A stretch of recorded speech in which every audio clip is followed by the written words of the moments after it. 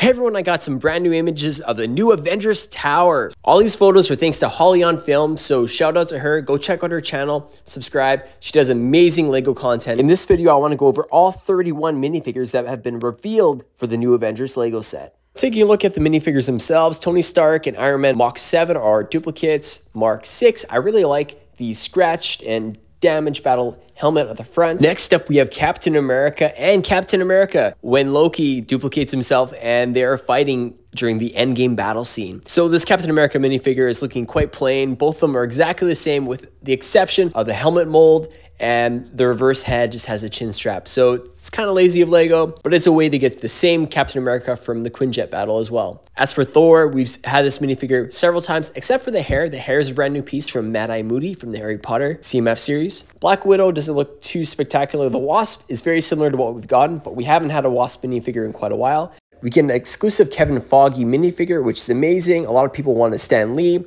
It makes sense because Kevin Feige is part of Marvel, so it's a lot easier to get the rights to a Kevin Feige minifigure versus needing to go through Stan Lee's estate to get the rights to build him. Next up, we get Hawkeye, and he looks so good. He's got the new hair from the Marvel CMF Series 2, so I can't complain. He's sleeveless. He looks so accurate to the film. Wanda Maximoff looks similar to other minifigures we've gotten of her in the past. Falcon looks pretty good. He's got a new torso piece. His legs look like something from Hawkeye or Black Widow. Vision is the standout minifigure in this set. He, wow, he looks so good. I love his legs. They look translucent and transparent, like he's phasing. And Vision is just so incredibly detailed. I love the colors and how they pop and we haven't gotten a vision since Civil War, so I'm so happy that they included him. War Machine and Pepper Potts, again, they look like duplicates. So one of my complaints with the Marvel minifigures are that a lot of them look the same, and we've gotten them in a lot of sets. So if this is your very first time picking up a Marvel set, a lot of people will be happy with this,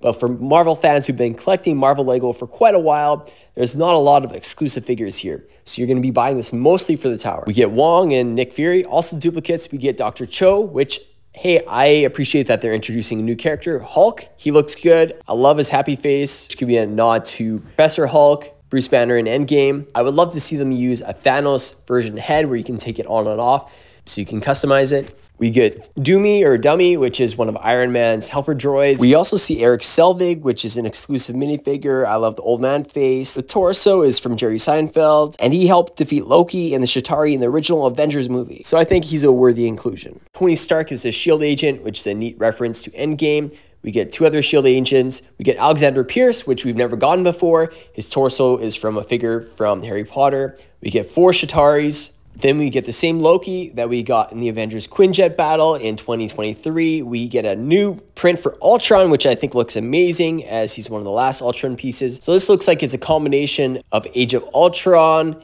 Endgame, as well as the original Avengers battle scene. We get to see the iconic scene of Hulk scaling the building, smashing Chitauri, smashing Loki. I like that Loki's got a bruise on his face. I think that's the first time I've actually noticed that. Which minifigure are you most looking forward to from the new Avengers Tower? Let me know in the comments below.